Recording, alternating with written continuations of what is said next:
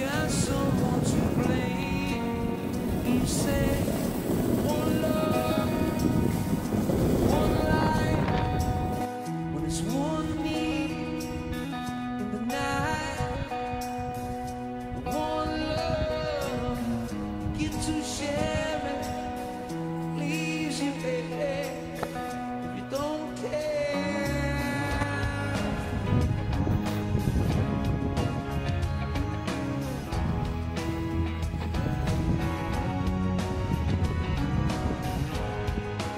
Did I disappoint you?